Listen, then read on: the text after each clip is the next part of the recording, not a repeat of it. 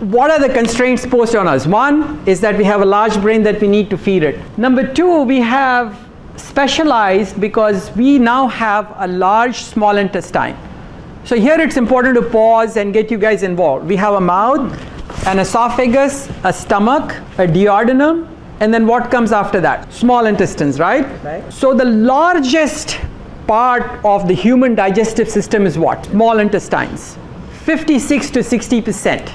Many of you think that fiber is very good, and I have a doubt that when I tell people that hey, fiber is useless, don't eat it, because I want to put some balance into that. Where do you think we metabolize? Where do you think we use the fiber? So the only place where we use fiber is at the end of our digestion and our colon is rudimentary. It's about less than 15% of the digestive system. It's got limited fermenting capacity. And you ferment and make B12 in the colon, hmm. but you can't absorb it. We also have an acid based digestion. Why is that important? Because what that means is that the food that we eat is not broken down by bacteria, it's broken down by stomach acid with pepsin. And so, in other words, to digest and absorb protein, B12, and minerals, you need stomach acid. And if you eat a lot of fiber along with your protein, you will not absorb the protein and you will not absorb the minerals. Here is another important limitation posed on us. We don't have a very strong pancreas.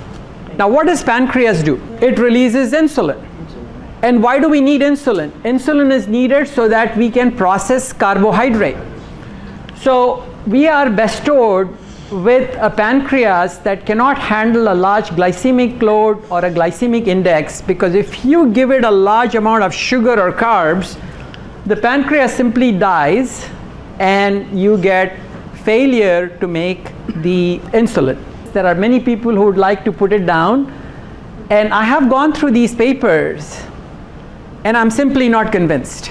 I think that the expensive tissue hypothesis that our brain poses limitations on our diet is absolutely right. So we're going to take on fermentation. So the fermentation can either occur in the foregut, that is, it can occur in the stomach, or in the hindgut, like we do at the end of our digestion, or you can have an acid based enzyme based digestion. In other words, you are breaking down the food with acid, with pepsin, with amylase, with lipase, which are things that break down protein, starch, and fat.